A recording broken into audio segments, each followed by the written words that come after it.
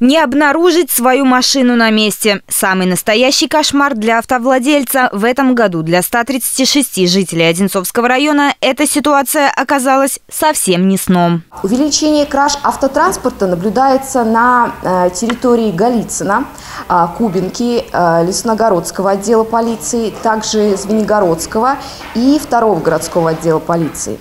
Чаще всего жертвами угонщиков становятся владельцы таких автомобилей, как Toyota Camry, Renault Duster и Mazda. Большинство краж совершаются в неосвещенных местах, где нет камер видеонаблюдения. Основная масса угнанных машин уходит за пределы района, где в дальнейшем их распродают по частям. Большинство краж и угонов совершаются, как зачастую, организованными группами, а, которые специализируются на хищении определенных марок автомашин. А, данные группы а, являются устойчивыми и зачастую члены этих групп не являются жителями Одинцовского района.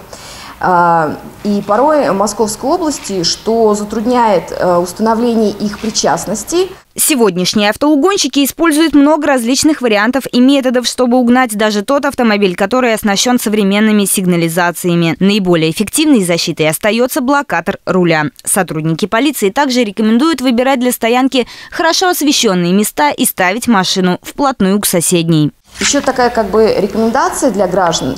При покупке поддержанного автомобиля а, обязательно э, поменяйте э, замки и противоугонное устройство.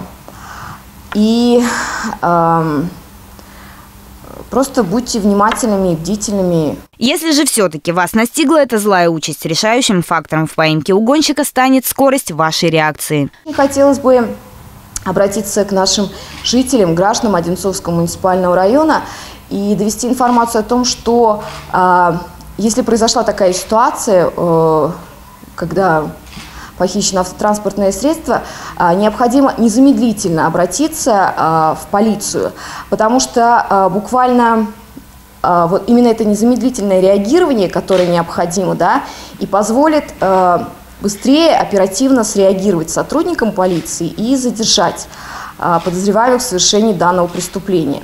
Предсказать, какой автомобиль станет следующей жертвой угонщиков невозможно, поэтому на чеку нужно быть всем и всегда. Дарья Киреева, Станислав Трифонов, телекомпания «Одинцова».